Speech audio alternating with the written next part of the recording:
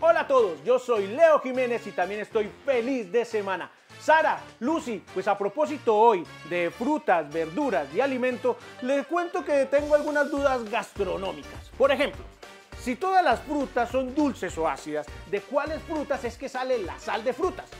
Si la carta de un restaurante está escrita a mano, ¿eso es un manuscrito? ¿El filete de pulpo bebé es más pulpito? ¿La carne de solomito es de verdad o es solomito? Desde niño me acompañan muchas dudas en mi relación con la comida. Todavía son muchísimas preguntas las que esperan por ser respondidas. ¿Por qué cuando estoy de mal genio todos dicen que parezco un limón? Pero cuando me veo contento nadie me dice banano dulzón. Eh, si a la cabeza le dicen el coco y le dicen mango al corazón, si manzana de Adán tenemos todos, ¿por qué no tenemos un tomate de riñón?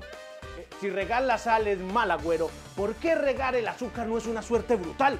¿Por qué verse como un lulo es algo bueno cuando a todos eso nos suena tan mal? ¿Por qué solo la bebida es sobremesa si lo demás se pone encima también?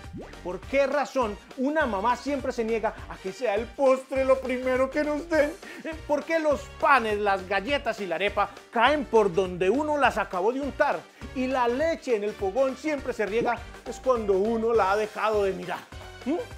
¿Por qué si todas las mamás desde chiquitos nos quieren ver comer de todo y en buena cantidad, eh, de todo lo que nos parece más rico, siempre nos dan poquito o partido a la mitad? Son preguntas que aún no he podido contestar. No sé si alguno de ustedes me puede ayudar.